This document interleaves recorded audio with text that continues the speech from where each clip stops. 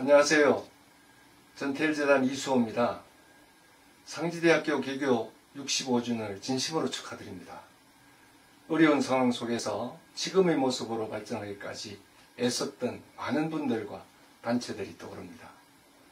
우리나라의 교육민주화 과정에서 선도적으로 총학생회를 중심으로 한 학생들과 교수회와 힘을 모은 우리 교수님들이 함께 들고 일어나 학교를 바로잡고 학풍을 올바로 세우려 했던 피나는 노력을 기억합니다.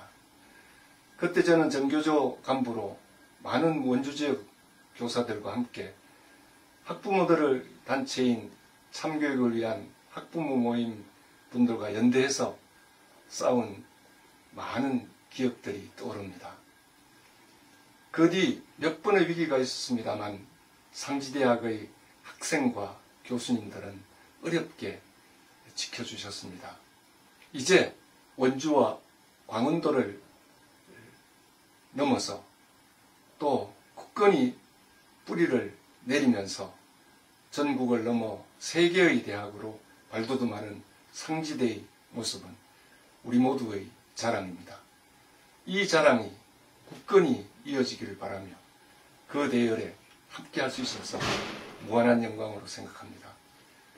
개교 65주년 기념 모금 캠페인이 더 활기차게 진행되기를 바라며 저는 민병희 강원도 교육감과 최교진 세종시 교육감을 추천합니다.